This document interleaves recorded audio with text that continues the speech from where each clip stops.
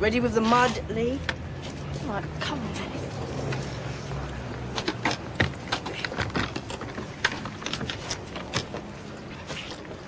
Right. Whoever cleans their side first keeps the money. Come on, guys. Ready, Go! Come on! Come on! Come on, John, come on, Alice! I know who you are! My car has just been assaulted in a car park by pupils from Grange Hill. Assaulted? Yes. Buckets of vile mud have been hurled deliberately over my windscreen. Mud?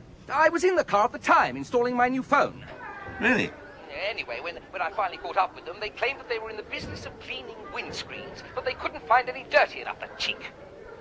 Uh huh. It's quite disgraceful. Now, I have the names of all the culprits, and I expect them to be dealt with most severely. Yes, absolutely. It's appalling. I'll deal with them, of course. It's dreadful. It's appalling, Peter. Yes. It's an outrage. Absolutely. All right. I shall be writing to your parents, of course, and you'll all be doing a week of detentions after school. I've also had a word with Mr. Griffiths, and he's going to find some tasks that might provide a more useful outlet for your energies than pouring mud. Pouring mud over Mr. Hargreaves' car. Right, off you go. He was laughing. Don't be stupid. He was. He was laughing. I don't think I'll be when my mum gets sat there.